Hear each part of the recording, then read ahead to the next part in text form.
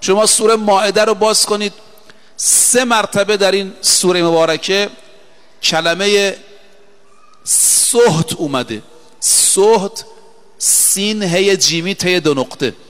قرآن کریم وقتی می‌خواد علت انحراف علمای بنی اسرائیل رو بشماله سه جا این نکته رو تو سوره ماعده نگاه کنید. آیه 42 سوره ماعده و آیات بعدیش سه مرتبه این کلمه تو قرآن اومده. سهت سهت یعنی چی؟ یعنی کاسبی حرام. میفرماید اکالون للسهت علمای بنی اسرائیل سهت میخوردن. سهت به معنای در واقع لقمه حرام. حالا لقمه حرام به انواع و اقسامش. این آیه قرآنه. سماعون للکذب اکالون للسهت باز در جای دیگه میفرماید ترا کثیرا منهم.